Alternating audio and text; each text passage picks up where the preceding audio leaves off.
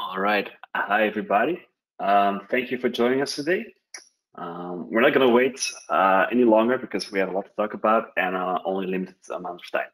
So um, my name is Stan Van Hoof. I'm business development manager at Exclusive Networks.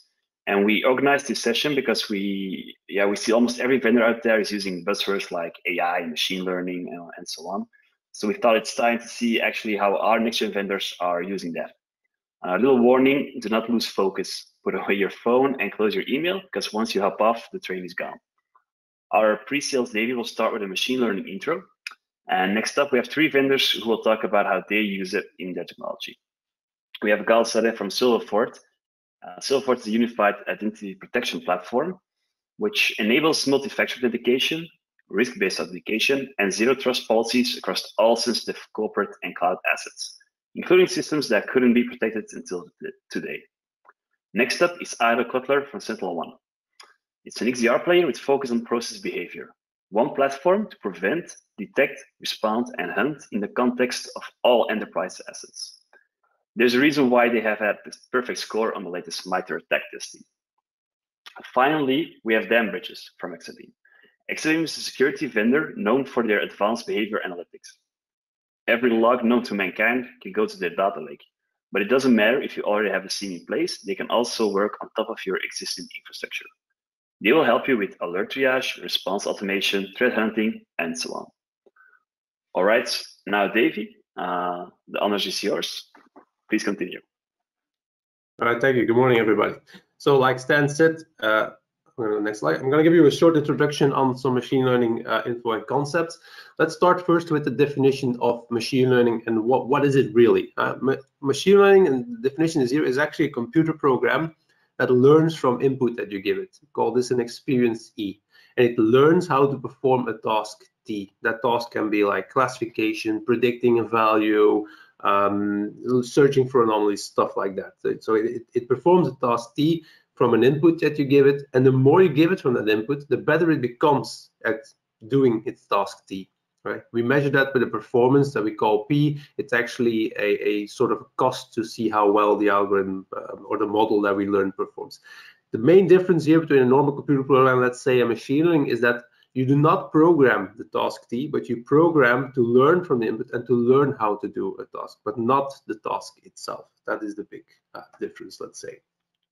We're going to talk today uh, briefly on random forests. So to start with, random forest is a supervised machine learning algorithm. And you probably all heard about supervised, unsupervised uh, machine learning algorithms. You, you, you came across the term multiple times probably supervised really means that you you give the the algorithm or uh, that you will learn on uh, you give it the data with the expected outcome. So with the for example labels like uh, like a uh, malware label like it's a malicious or it's a benign file that's a labeled information that you give to the algorithm to learn on. In contrast unsupervised you don't give it information to to uh, that is labeled or has a desired outcome, but you ask the algorithm to search for, like, for example, clusters or correlations between data points. So that's the big difference. Uh, today we're gonna, uh, for the random forest, we're gonna work on the supervised part. Now, random forests are used for classification and regression. So in classification, we talk about uh, predicting a certain class. For example, here uh, you get a random forest saying we predict a class A or a class B. So you get a new instance, you throw it at the model, and the model will predict if your instance belongs to A or B. On the other hand, you have regression, which you, for example, predict a value or a probability or something. Now, random forests use decision trees, as you can see in the image here at the right side, right? It uses a lot of decision trees. What it actually does it is inside there are multiple decision trees making uh, their own individual uh, prediction on an instance, and that individual uh, prediction will then be used in a majority voting, for example, or an averaging to predict the final class for the new instance that you throw at it. Now, before we continue, let's look a bit more in depth into the mathematics of this algorithm and, and look what it does. I'm just kidding. We're not going to do that. That's a, it's a hand-on session. It was just a little stupid joke that put in here. But what is important is the concept of samples, features, and labels, right? You will see this a lot in, in machine learning. You encounter this a lot. What, what is this, right? Machine learning needs to be done on a sort of a vectorized uh, data format. That's what you see here. You got samples uh, listed here, and then you got columns describing the features, right? So a sample is, is uh, a feature, sorry, describes a sample uh, based on different uh, parameters, and it, it, differentiates between multiple samples, or maybe it correlates between them. It has just several features that describe each sample. That's important to have, that's our data, and we also have labels, right? The last column here shows the label for each sample. That's actually our supervised part, where we show that sample one has a zero has a label of zero, sample two has a label of one, etc., etc. This can mean anything. In our case, that will be a benign and malicious file, right? But that's the concept of a sample, having describing the sample with features and having a label for each sample available to learn on. I'm going to work with the Ember dataset. It's a dataset of 1 million PE files, so portable executable files uh, for the Windows platform. And these files are, or the samples in these files are actually classified as malicious, as benign, or unlabeled. So we don't know if they're benign or malicious. That, that happens, right? That's also in the data set. And basically, the, there's an X and a Y. The X is the feature set data, and the Y are the labels. And the guys from Ember, so it's available on GitHub, I'll show in a second, um, they make available this data set, and they also give you the possibility to split it up in a training set and in a test set. Now we need this because we will learn, our algorithm will learn a model based on the training data, so the features in X-train and the labels in Y-train. And then we will use the model that we have learned to predict the labels for the X test set. We're going to predict the labels for D set and we're going to compare it with the labels that we have. This way we know if our algorithm or our model, I must say, um, performs well or not. Now in this data set, there, like I said, 1 million samples. Uh, my laptop didn't like 1 million samples, it was a bit too much, so I uh, narrowed it down to 160,000, uh, that's about 20% of the set, and uh, 20,000 of the test set um, to make it a bit more uh, possible to do the algorithms. And uh, you see also that there are 2,381 features, so 2,381 columns describing each sample. So that's a lot of data, that's a lot of data. So let's jump over to uh, our Jupyter notebook. It's a uh, used a lot in machine learning and data scientists. It's based on Python. Um, so you can run this uh, code into a browser. Here you start with actually getting into the uh, getting the Ember, data set, um, set inside this platform. And if we go to the paper, there's a paper belonging to the Ember dataset. It shows you here uh, at the bottom the structure, for example, of a PE file, how it, how it looks like. Um, maybe some of you know it. Um, that's a structure. And a bit further on, they will show how they describe a um, how to describe a file. So you see here that they give you a JSON with a SHA value. They give it a label, as we said. Uh, but also, for example, they say, oh, uh, this file imports kernel uh, 32.dll, it calls this function, etc., etc. This is a description of a sample of a file, but we cannot input this into a machine learning algorithm. It needs to be vectorized, like I said, to a format that we can use for learning. And these guys provide this luckily for us. So here you can see we're loading in the 1 million samples. And then here we create X-train, Y-train, X-test, and Y-test by reading in the vectorized data and then con converting the JSON format to a vectorized format, which results in the end in uh, like I said, 2,381 features. And um, I use a subset, like I said, of 160,000 uh, values to start my learning and do the testing on 20,000 uh, samples. So once data, preparing the data is very important in machine learning, but once we have the data, we can start the learning part. Now the learning part uh, using um, scikit-learn, by the way, in Python, is actually just starting or creating a decision tree in this case. So we start very simple with one tree. And I say I want it to have a maximum depth of three. So I only I don't want it to be bigger than that. And I'm gonna fit it to our training data. So I'm giving it the training data, the features, and I'm giving it the labels for those samples that, that we give it to it. And we start like fit it, right? Learn learn on, on this data and how um, and build a model. And this is the result. This is the result, a decision tree that the algorithm has learned. This is our model uh, for the data that we throw at it with a maximum depth of three layers. Right? How do you read this? How, how, how do you use this actually? The goal is that when you have a new instance that you can throw it at this model and the model will tell you if that new instance is malicious or benign. That's what we want to do. We want classification. how does this work? You start at the top node and you see here that it starts with looking at feature 637 in the data set. And it will look at, so for a sample, at that feature, compare it to this value, and then go to the left or the right. And it does it exactly for the same way for all the other nodes until it ends up in a leaf node. Now you can see here on the root node that we indeed learned from 160,000 samples and that these samples are distributed among the three classes. So we have the unlabeled, we have the benigns, and we have the malicious uh, samples. And you can see that each node actually makes a separation this way.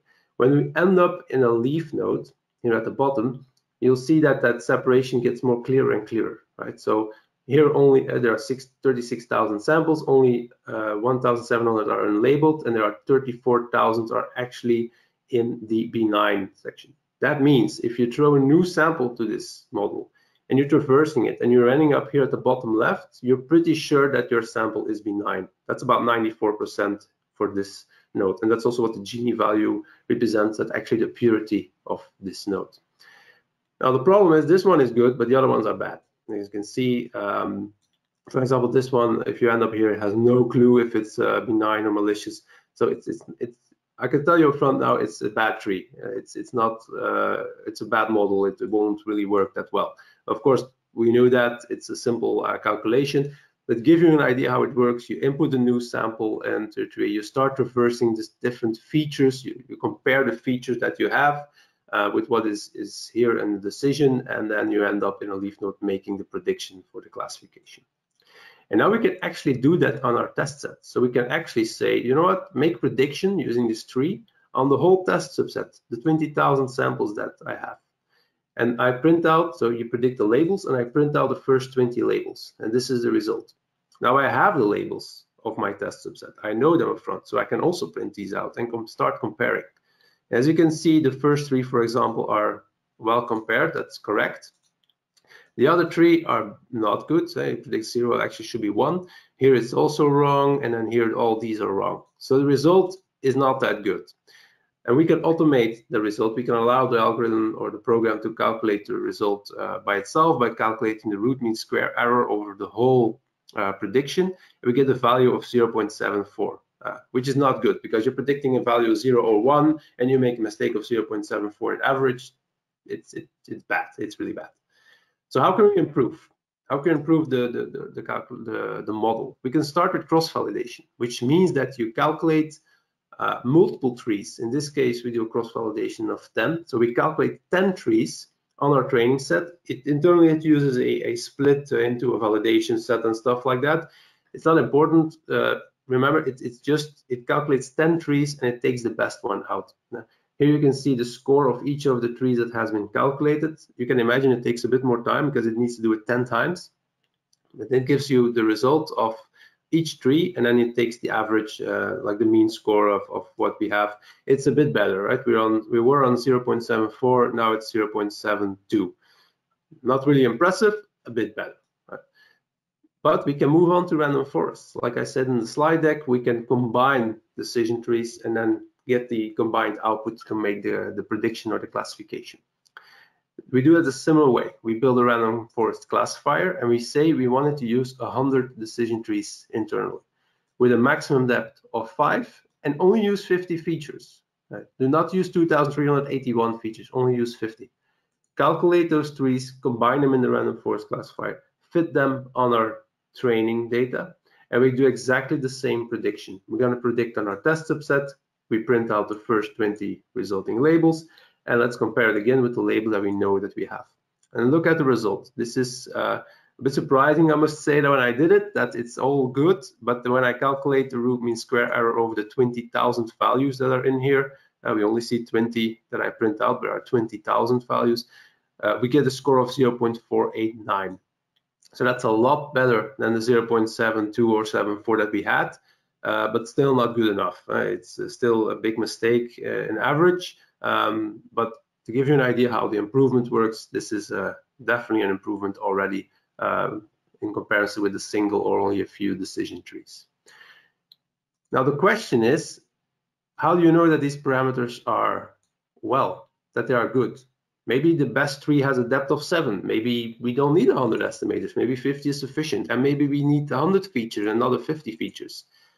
These parameters are actually called hyperparameters of the algorithm. And you can also learn on that. You can, let's, let's visualize it as leveling up the algorithm, the learning, right?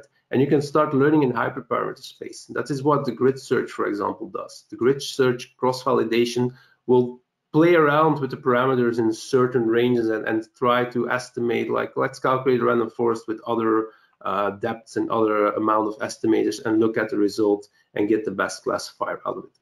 I'm not going to go in depth on that because I'm limited on time, but it gives you an idea on how you can improve uh, machine learning and then finally, to end up, i would like to visualize something to give you a bit of an idea on how an algorithm makes decisions. Here I calculated a random forest classifier. I did 20 trees inside, maximum depth of three, and I only calculated on two um, features, the first and the second feature. And this way I was able to plot it out. So we have the first feature on the X, second feature on the X2, uh, on the Y, sorry, so X1, X2, and you can see here the different the zones. So the green zone is the benign zone and the yellow zone is the malicious zone. The blue dots are the, the benign samples and the yellow dots are actually the malicious samples.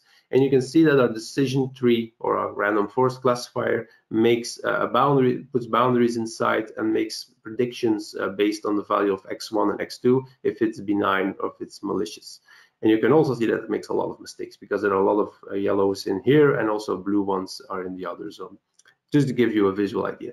And again, from this random forest classifier, I can take out a random a tree. Let's say I want to take number five of the 20 trees, and you get the same sort of tree visualized here. And you can see that it's now only using feature zero or feature one because that's the only two features that it's been learned on, and it tries to make prediction based on those two features.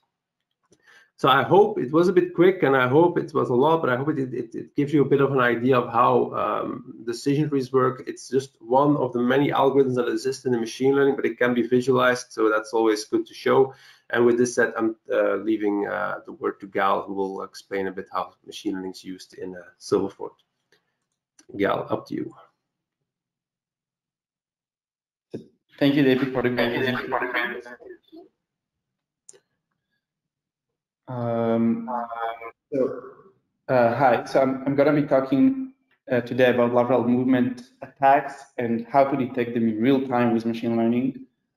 Um, before I'm talking about the machine learning and the detection methods, I think we need to understand uh, better what lateral movement attacks are.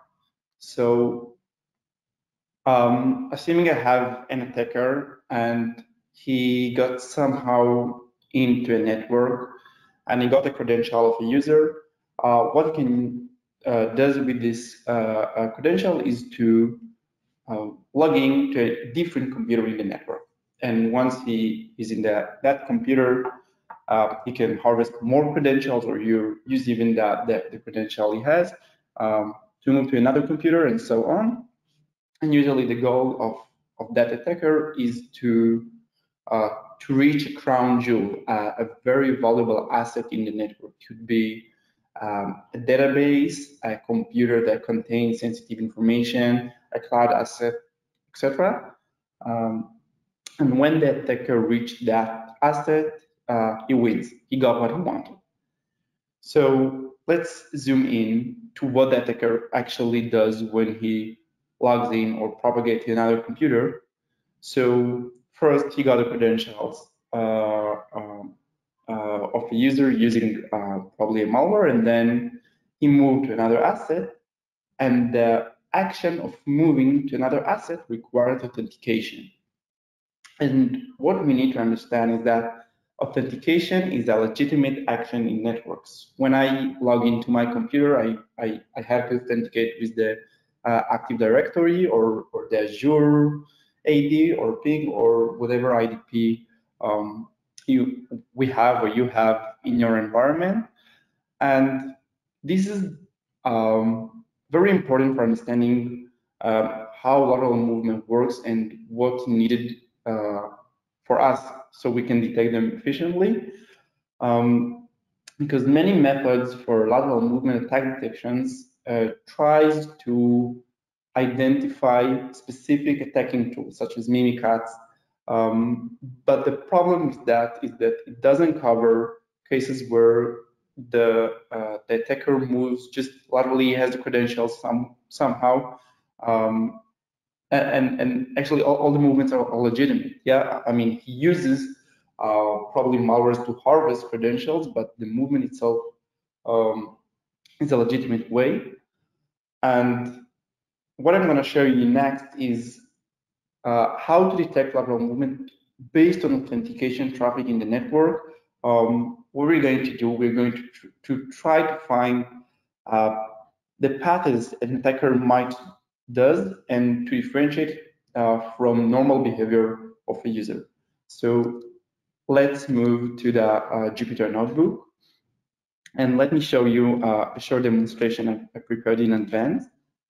So what you can see here um, is a picture of a network. Small one just for the demonstration, but it's based on real networks um, we've seen before. And every circle here uh, represents a user, and every triangle represents a server, and every edge that connects them represents an authentication. It means that the user authenticated with the server. Um, the edges, by the way, contains more attributes such as the timestamp the authentication request occurred, but I cannot show you that on the graph because uh, it will be too messy. And the goal here is to find several edges, several authentication requests that together represent the potential lateral movement attack. So you can see here that we have like, I don't know, uh, 100 or 200 uh, users and computers and much more edges and much, much more potential paths. The potential number of potential paths is ex exponential with the number of entities um, and authentication requests in the network. So this is a very small network, but in huge networks, um, you cannot even go over, you cannot enumerate over all the potential passes. So finding the one that represents the, uh, the lateral movement attack is very hard, and this is where machine learning uh, uh, comes to our help. So the first thing we'll do is we will use um, clustering algorithm uh, to cluster that network to communities, where a community is a group of users and computers where the users authenticate very frequently in all the servers that are in the same community. You should think about it as uh, you have an R&D department in your organization. It means that um, all the users and the servers, like the workstations of, of, the people there, are likely to be in the same community. Um, it might be uh, people from the same site, the marketing department, etc. To do that, we use an algorithm called the Louvain method, uh, which invented by the way, by the way, in Belgium. Um, and let me just show you that. It will, it will be very clear.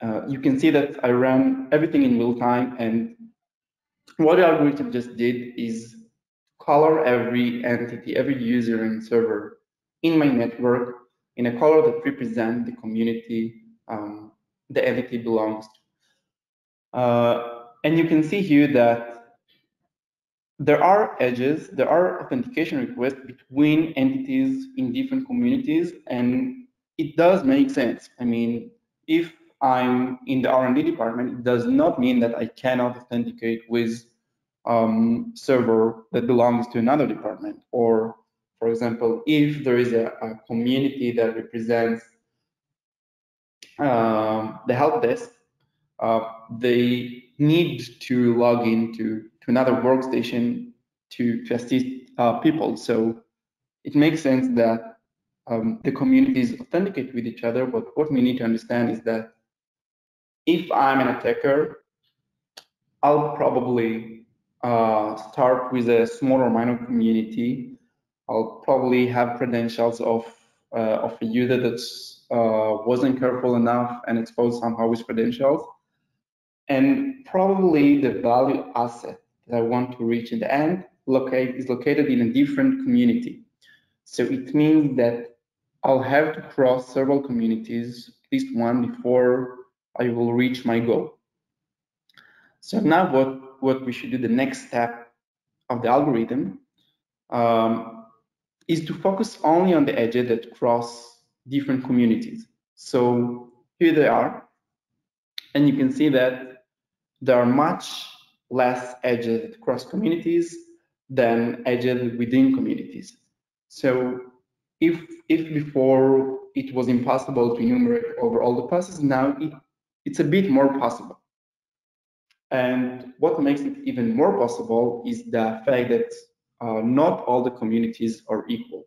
I mean, there are some communities that are more important or, or less important than other based on their behavior. And, and just an example for that, here in the small graph I show you, um, every node represents the community and an edge represents that the two communities uh, communicate with each other. And you can see, for example, that the teal community communicates only with the blue one and the gray one, uh, but the blue one uh, communicates with all the other communities. So the blue one very likely to be the help desk community, and the teal community is more isolated community. So why, why it helps us? When two isolated communities communicate with each other, it's much more suspicious than um, a community that communicates with all the other communities perform an action. So it helps us actually to um, estimate the probability that a user from one community will authenticate with a user with a server in a different community. So uh, let's focus even more on the edges that uh, cross communities. You can see here now that um, uh, it's much more clearer. We can even see some pattern ourselves. So in advance, I found that the passes that might be um, interesting. So here they are, uh, they're marked in yellow. And you can see that they cross several communities. And now we, we have a lot of potential level movement passes, and what we can do is we can eliminate them by some attributes that we know about the entities that involved in that potential pass. For example, we know if the users are admins or if the servers are workstations or web servers, etc. So after we have some candidates for uh, potential lateral movement passes, we can start eliminating them. And if I, well, let's zoom out for, a second. You can see here that we started with a like almost blank graph, like we didn't have information um, about the network at all, and, and we found here two potential paths uh, might represent uh, lateral movement attacks. So a, a, couple of things to summarize to summarize that. So what I, what I showed you now is just um, a, a, short demonstration that uh, show the concept of the algorithm.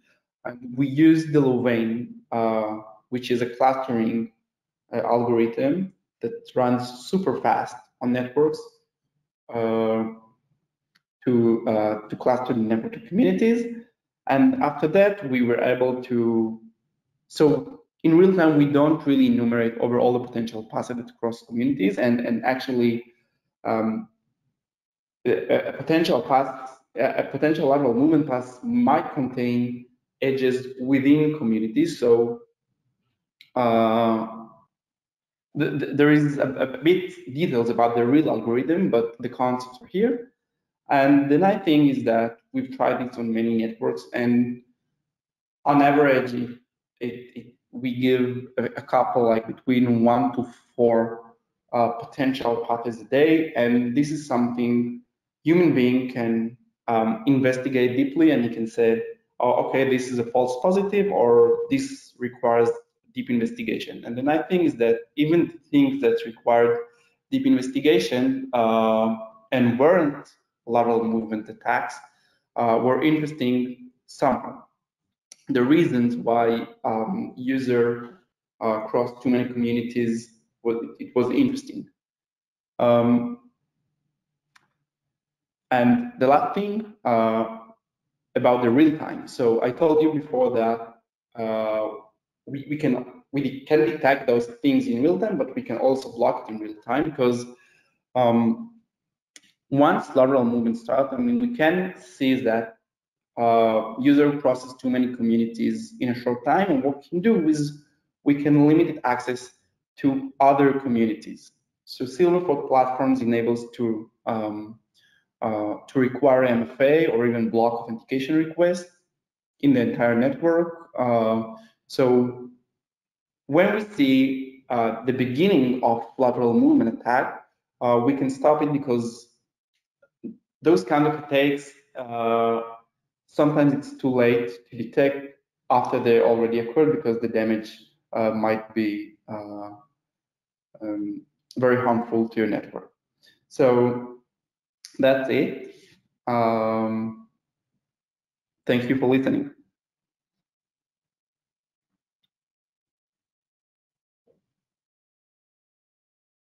All right, great. Thank you very much for this uh, session. All right, next up is um, Ido from SentinelOne. Yes. Hi. Uh, Ido, sorry, Ido. All right, you can share your screen now. Great. Um, I'm guessing you can see it. Yeah, perfect. Um, yeah, so my name is Ido. I'm from the innovation team at Sentinel. Um, if I'm talking too fast or if something is not clear, or if you just have any questions, please write them. I try to address them during these 15 minutes. Um, I'm going to talk to you about a new thing we are doing in SentinelOne that is called behavioral similarity. There are already some applications that are being used in production, but we are also more ambitious, and I'm also going to talk to you about like the far-reaching ideas we're working on that will probably be in the field in six months or a year from now, but we are very certain that they will happen. Um, oh, why is it not moving? Great. So first, like an intuition. Um, I'm guessing all of you heard on the SolarWinds attack. Like even my parents asked me about them. Like I, I know that it's been in the news all over. And although all of our customers were protected from the SolarWinds, many of them were concerned on it. So obviously, um, here in the SentinelOne platform, you can see that you can hunt for many things, and even you can hunt for specific things when events come. And those queries that used for hunting generally look something like that. So there are usual IOCs that were published, like SHA-1s or IPs or DNS requests, and then we are looking for those things online uh, in our data. But that's not perfect because obviously there are things that are updating all the time and it requires the people here or the people like our customers to know and search for those specific things. And also, most probably, there are things that are just not discovered and people are not going to publish either because they don't want it to be known for everyone or because they haven't found out about it. Um, so what if we could do something like that? Not look for a specific IOC that is being published, but say, I know what Sunburst look like. Please look for things that look just like Sunburst. Uh, so this is like the far-reaching goal of what behavioral similarity wants to do. So I'm going to talk about like four main things if I have the time. Uh, first, similarity. What does this generally mean? What is it good for? Secondly, how do we do it specifically in SentinelOne? And then I'm going to talk about two examples of how we already use it today, which is firstly on SOC empowerment, and secondly, and secondly about researching incidents. Um, so just like a few uh, things, generally speaking, we use the concept of a storyline in SentinelOne. What does that mean? That means that um, SentinelOne monitors many things in the agents, so processes, files, and different entities the computer uses, and then it aggregates them together uh, to uh, one concept to show that things are connected to one another. Um, so it can segment the event to different contexts, and then you can look at a specific context and know that the things within this context are related to one another. This is a thing we already do for many years. Um, yeah, sure. Um, so let's look at an example of a storyline. You can see that there is probably the malicious PowerShell. It has been created from a WinWord, but we can tell that probably WinWord is not a malicious thing, and only the thing that was created from the WinWords onwards is a malicious. So segmenting those connected things is a hard thing that we do. But now we have the concept of a storyline, and then we can know that storylines represent a thing that happens in a specific context on one machine. Okay, so now let's talk on behavioral similarity or storyline similarity. So let's say we'll have a machine somehow that can take such storylines and put them on a two-dimensional um, representation. Uh, like two-dimensional is obviously a small one. We use much bigger ones, but let's make it simple. So why would we want to do that? If we have such machines, we could look at different storylines and put them on a two-dimensional uh, space. And when we do that, we can see that some points are closer to each other than other points. And then we say that probably those storylines represent things that are closer to one another. So let's say we have this concept. What can we do with it? Uh, so for example, let's say those are many, many points of like this amazing machine that can put it on a two-dimensional space.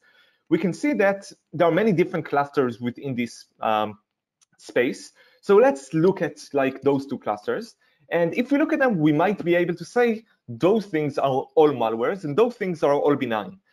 And this classification can happen to malware versus benign, but it can also happen for like more granular things. So malware families or profiling many different users' behaviors or things like that, which is very useful in many different cases. Um, another thing that can be helpful for is to empowering analysts generally. So let's say you're looking at a thousand incidents that has happened on your network, if you're a big company, then having those clusters can help you to look at specific things with the context that are related to one another or even filter certain things if you're looking for a specific incident. So you know that something has happened, you're looking for things that are connected to these things that you know that has happened. So you can say those things are unrelated, those are also unrelated, those two. So now you're filtering to very small amounts of data to look for, which is very helpful because otherwise it would have taken a lot of time. So Oh, another thing is probably you could look for anomalous behavior. So if this is like a user that has used specific software, you can see that those things are very different than the rest of the things. So, okay, this idea sounds great, but how are we going to actually make it happen? So our mantra is not to find just any representation, but find a meaningful representation. So the first things you need for that are meaningful features. And luckily here in SentinelOne, we have a lot of features in our EDR platform. So we have a lot of things for every process, for every thread, for every IP connection, for every file modification, for every login, registries, a lot of different things that we know that they have happened, but also we know many different things about what specifically was done in those things. So a storyline at the end looks something like that for us. So we have many different events. Um, and we can draw those events and say this process has created a file, this process has had the network connections. Um, just the, those connections are already quite meaningful when we are looking at a representation, but also we have uh, more information on that. So we have like, is this file an exe? Does this file have a high entropy? Is the dest IP a local? Uh, and many, many different features, like thousands of features for each such event. So, okay, we have the features. Now we can put them into a neural network and get such representation. But still, you need to ask me like, how do we make, how do we train this? Like, how do we make this representation meaningful? So, generally speaking, if we just want to have some classification, getting those boundaries is an easy thing to imagine. But talking about the general concept of representation or similarity is a little harder. So something we use is something that is called metric learning. Um, what does metric learning do? It tries to find a metric to say if two things are close or not. So the idea comes, um, the, a, a, general thing that is used is things called Siamese networks, which is often used on, uh, let's say, face recognition. When you have many different faces and you want to find a similar face to one another to know that this is a specific person. What you do here is you take the same network, you put two faces through this network and get dual representation. And the loss function or the things that actually trains your network is whether those two faces come from the same group or not from the same group. So then you like subtract the two representation, and if they're the same person, you want it to be close to zero. If they're not the same person, you want it to be as far away as possible. So obviously we don't use faces, but we can do the same thing with storylines. We take our representations of features of storylines, we put them through the behavioral similarity network, and then we try to push things that are close together to be closer and push away things that we know that are not from the same group. So that's the general concept of how do we do it. Um, So let's talk about the examples. Uh, so firstly about SOC empowerment. Um, this is already used by Vigilance MDR, which is our own SOC that we sell to other companies, but this will probably be used as a feature to other SOCs as well in the near future. So what's the problem space here specifically? So no product is perfect. So obviously there are going to be false positives in some aspects. And this, when we talk about big organization, can be very harmful because that means that if you have a million computers, then that could be a thousands alerts you get a day. And those alerts often comes from ver different versions of the product or different types of alert. And therefore, it takes a lot of time to know how to handle each of the alerts. And also, the cost of a mistake is extremely high because if you say that something is benign, but actually it is malicious, then you have a ransomware on your computers that you just looked over and missed. So we don't want that to happen. So what are we going to do with behavioral similarity? We're going to do automatic threat triage, which means that we are going to look at the behavior of those incidents and then say if those incidents are close to things that we thought that are false positives before or close to things that we thought are true positive that could help firstly to prevent mistakes because we could tell you we think those things are true positives so don't like say that they are false positives but also it can reduce the response time in many aspects because it can tell you in like very high percentage what are you actually seeing what was it connected to and therefore make you to, to be able to make much more sophisticated responses to it in much little time um, so that's one example that is already in use. You can see that this is like a two-dimensional um, presentation of it. Obviously, like when you look at higher dimension, it looks even better. But you can see that even from looking at this, most the red points represent like um, the uh, false positives and the green dots represent the true positives. You can see that they are clustered together. So it's very easy to say if you are close to another false positive, you are probably a false positive yourself. Um, so this is one example. Another is when researching incidents. So let's look at Sunburst again. We can look at all of the SolarWinds processes that we've seen in SentinelOne. So we can see that a lot of them are clustered very neatly together uh, in this representation. So if we try to cluster them using any cluster algorithm, you can see that many of them look similar to one another, which probably means if you've seen them across many different machines on many different organizations through a lot of time, they are probably benign. So we'll try to look at the things that are not in a very big cluster. And then it reduces the space you want to research for like very significantly. So for example, if we look at this specific dot, we can see that it was uh, detected as a threat and it's actually a threat by something that is not the Orion, but a different product on SolarWinds, and it is very high likely to be a true positive. So if we look at other points, we could find things that maybe uh, we've missed or maybe act very differently to any other SolarWinds things that we've seen. Um, so that's it. That's the two examples I wanted to talk on. Uh, if you have any questions, I'd be happy to answer them. If not, let's move on. All right, great. Thank you. Uh, I think it was very clear. Uh, if there are any questions, we uh, we will answer them at the end of the session. Uh, I suggest we hop on to the next speaker, and that's Dan. Thank you very much. It was very interesting. Let me make you presenter, Dan. Then you can share your screen.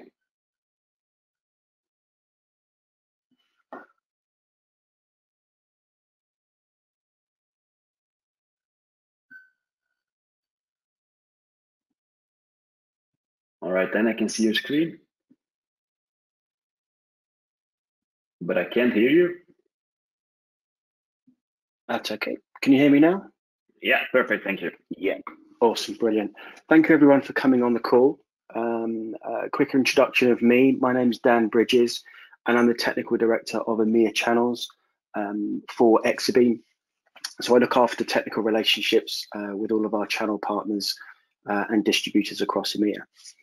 So um, I'll probably talk maybe slightly differently um, uh, for some of these factors and explain where um, machine learning, AI, statistical detection, statistical analysis, where these are splattered around um, the Exabeam uh, solution set.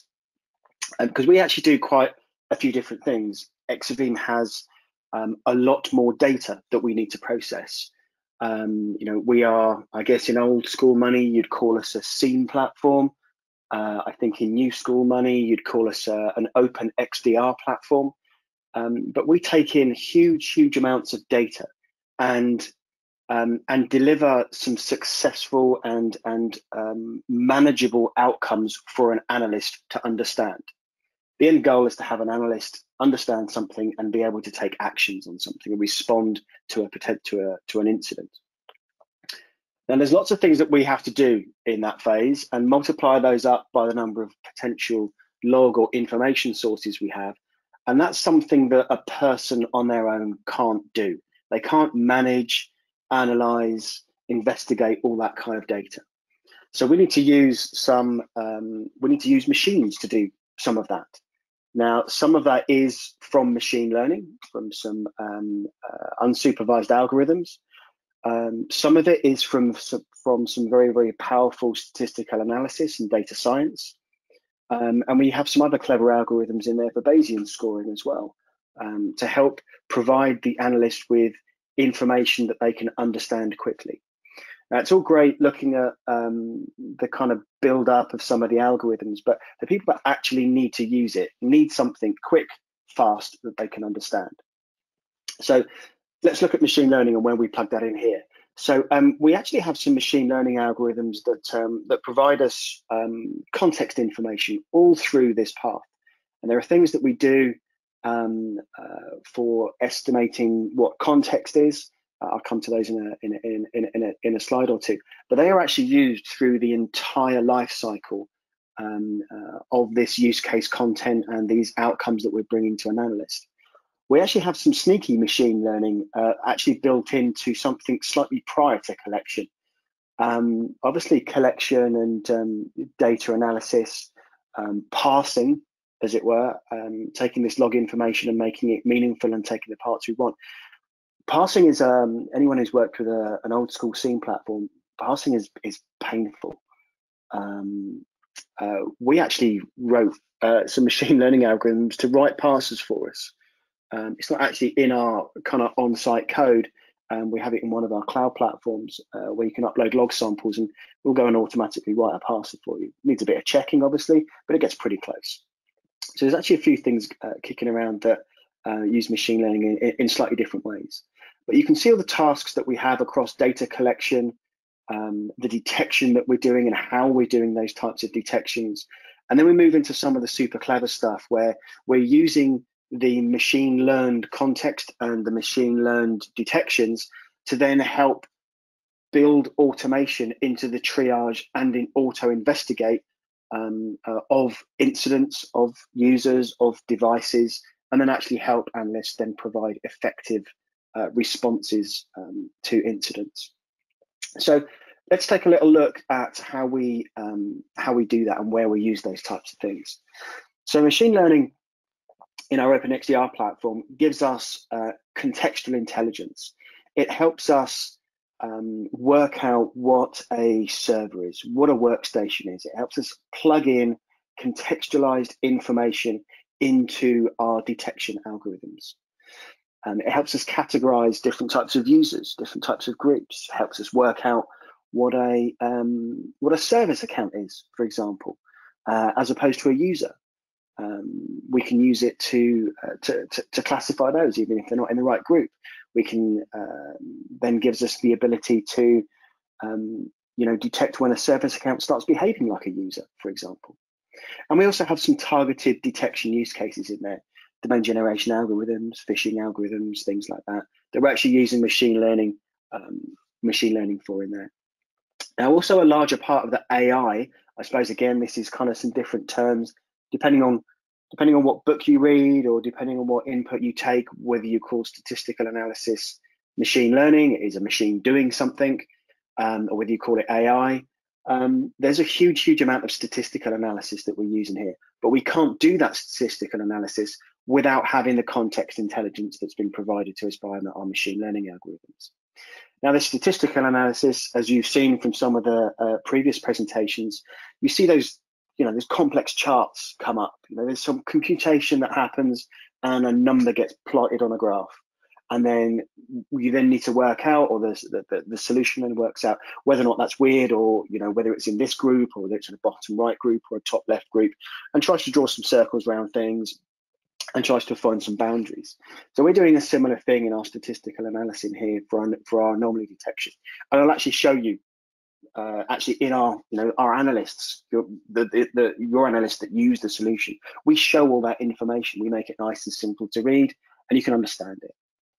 We then have some advanced um, uh, mathematical scoring um, against analysis that happens in our Bayesian scoring al algorithms, where we start to adjust risk scores that we add into to, um, particular users or devices sessions. Again, I'll show you kind of some of the stuff as we work through those. So just a quick look at some of the um, uh, machine learning that we use for context estimation. These are some of the use cases that we have for that, why we do it, uh, and what values we actually draw out from those. So you can see in here, this gives you an idea of, of, of why we use machine learning in here. Now, this is helping us provide information which we can then pass further down that line, further down that six-step line um, that uh, that I showed you at the beginning on why that um, uh, that machine learning is helpful and how we use it for every single stage of detection, investigation, and response as well, because that's built on some of the information that we've used at the front end. Now for detection, this is where some of the stuff gets a little bit more complicated. Um, we have um, machine learning detection in here for some of the complex things. Um, you know, we have our own algorithms that we've actually written. You can actually go and look it up on MITRE. If I get time, I'll show you the page. Um, you know, we've got some published um, um, machine learning algorithms which we use for domain generation um, detection, uh, dynamic domain generation detection. That helps us, again, for a reason. Why do we do that? That helps us with our malware communication. Those things tend to be used in, in, in malware. So there needs to be a reason for us to do these things. But these use cases in here, you can see we do some of the stuff for phishing detection. There's some there's some command line um, detection that happens, perhaps not quite in as much depth um, uh, as solutions like SentinelOne will do, um, uh, or some of the uh, network detection solutions. You know, we've got a few things in there, but then that's again the beauty of the Exabeam solution is that we are an open XDR solution, which means we can take SentinelOne um, uh, information through, and we can take the alerts and the information they provide us, and then use that in our detections and our investigations, along with all the other logs and all the other data and information that's around the rest of the network. Again, even from network detection solutions as well. So there's lots and lots of use cases that we have in here for the detection of actually how we do it. Now, again, just to give you a little bit of an idea about some of the statistical profiling that we do, um, uh, we have information that comes through. We have some classifications of an event type. Uh, there's a few of those into here, into Windows, security feeds, database, that kind of stuff. We then have a different set of statistical models that we use, categorical, numerical clustering, and numerical time of week. Now, we actually hold a huge, huge number of these um, uh, data science models, these um, uh, statistical um, classification models per user and per device. So a lot of the computation is because it's large scale in an Exabeam platform. Uh, just to give you an example, for each user in an organization, we'll have about 600 of these models. Uh, depending on log sources of these categorical numerical clustering and time of week um, uh, models, that's 600 per user. So even in a thousand user organization, that's 600,000 statistical models that we're feeding with information that has taken in information from our machine learning algorithms to help us with some of that context information. But they continually learn. Again, classic, is that is that true machine learning? Probably not, but it's continually learning. Every single log feed we come in feeds a data point in one of our models, which is then used for entity profiling, anomaly scoring, histogram conditioning, and the detections that we have into those for our statistical analysis. And they, like I said, they continually learn. That's not something that an analyst has to go back and plug in. 600,000 models that are continually learning based on the data that comes out of the log feeds. And that's just not one model that gets updated. One, one log event, as it were, a VPN event, might have, I don't know, 10 pieces of metadata that are useful. Each of those pieces of metadata then goes and updates a model. in real time, near real time, um, you know, sub-second type analysis for this. So it's continually learning and it's live. So very, very powerful set of, uh, of, of joined up machine learning outputs into context and for detections, and then into the data science models as well. Again, I'll show you a couple of these in a second. So let's take a little look at what we have in some of these. So this here is one of the timelines that we actually show. Uh, I pulled this one out straight away. This is our um, uh, kind of analyst view of, of actually what would be seen. And we can see here something that we've used our um, uh, domain generation algorithm score to uh, uh, uh, our domain generation algorithm to actually come out and classify something and tell us we think based on what we've seen before and how our, uh, how our algorithm works, we think that this collection of words and how it's put together is random. Okay, and we've got then actually come back and given that some um, some some particular risk scores. But what we've also done in here is we've used some extra machine learning to help identify what a workstation is, um, um, what a server is, what a user is, and what they're doing, and then grouping all of these things together to again give us a meaningful outcome and a meaningful output to an analyst for them to be able to not only just use this very clever machine learning thing that happens here, but then build that together with all the other pieces of information we've got to then that means that me, an analyst, the person actually using this platform, you know, there are many more of those than there are data scientists in an organization, that I can then understand the output from this thing. And I can read the story of actually what's happened here by this person logging on, nothing weird with that, and then what they do and then look at maybe perhaps some of the um, some of the models and some of the data to help us with our anomaly detection that actually happens into here. And we can actually see, you know, this person in here is is logging on to a country that um, that they don't normally access websites for. Um, and we can actually start, start to see some of the data insights that are in there and then look at the models that are being used um, for that kind of information.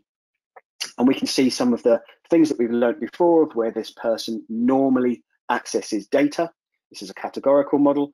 Um, and uh, you know we can see the categories of, of information country in this particular example that's been used um, and we can then use that for our statistical anal analysis to then start identifying our anomalies. And then when we see an anomaly to this which this one is this this country name here is an outlier. It's not happened before. Um, we see that as an anomaly. We flash it up and then we give it some some risk scoring and then perhaps adjust those risk scores with some of the Bayesian scoring. I.e. for something that happens a lot, we actually start to move the scoring slightly faster than the data models can actually go through. So lots and lots of things that are used in here that combine machine learning, um, statistical analysis, and the Bayesian scoring to actually form a useful output something meaningful that can be ingested by anyone who uses the platform. Okay, All that right, was a quick look great. at uh, the Exabeam stuff. Appreciative of time with a couple of minutes left. I guess you want to get some questions in. All right, perfect. Thank you, Dan. Was very clear about how Exabeam leverage the, the difference between AI, machine learning, and, and other algorithms. Uh, we got a few questions. All right, one question is um, maybe for Dave because it's more more general question. Um, we can see that false positive was a pain in the ass at the beginning. Um, how did it get better, or is it still an issue in, in all those products? Uh, so the probably uh, is about indeed the introduction eh, about the uh, result that we got there.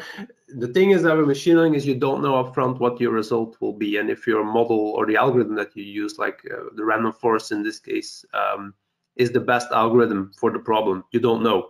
And that's why you also learn, uh, you also do learning on the hyperparameters and um, like a random forest is what they call an ensemble learning, where you put, um, in this case, multiple decision trees on each other, but you could combine like uh, decision trees with uh, support vector machines and stuff like that and use other algorithms. It's all about you know getting the right data in and letting the the machine learn and learn and that's why it takes so much time and, and resources and power let's say Uh, this is also why it's done on GPUs because um, with the, the, vector formats, the tensor uh, way it works uh, goes faster, and you need to you know let the algorithm do its thing and then hopefully you get the right result. That's it's it's not the exact science that you know I throw this at it and I will have a good result. You don't know up front, you just do it and you let it. Uh, that's why you need the cost testing and see what the results is. So uh, will it improve? Um, depending on uh, the algorithms to use. I'm, I'm not sure if the if I would pour, put more power and resources in the calculation, it might improve, yes, but um, we don't know if the random forest is the right algorithm for this problem, but that's how machine learning works. I think it's important to um, just to add a little bit to that. I think that's why it's important to have this layered approach. Um, I mean, all of us, us vendors on here that have, that have discussed this, you know, machine learning is part of what everyone does here, but it's not everything.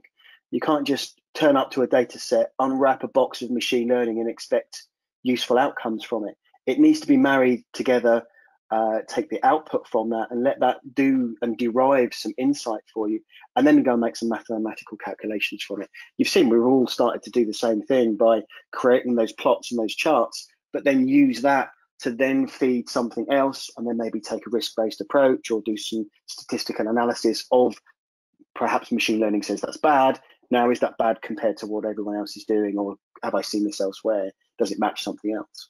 So um, yeah, I, I, I, th I, think it's uh, yeah, it, it, it was clear there. Yeah, it doesn't fix everything, not at all. All right, great. Um, other question um, from the audience is, uh, it looks like your examples are unsupervised. Do you only use unsupervised or is there also supervised learning in the product? And how does this work? I think this is for um, SentinelOne or Silverfort. I'm not sure. Maybe both.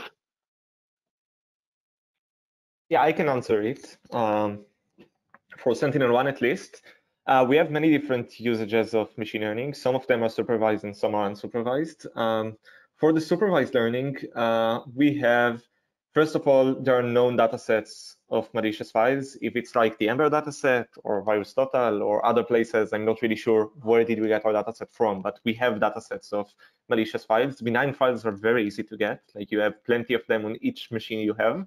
So it's very easy to, to get a benign dataset. And also we have, as I've said, the MDR services in SentinelOne, which are plenty of analysts that look over data from many different places. So we have tag data and therefore we can use this data for many different tasks. Um, so yes, we also use supervised learning in some cases. All right, that's clear. And maybe Gal, for your part.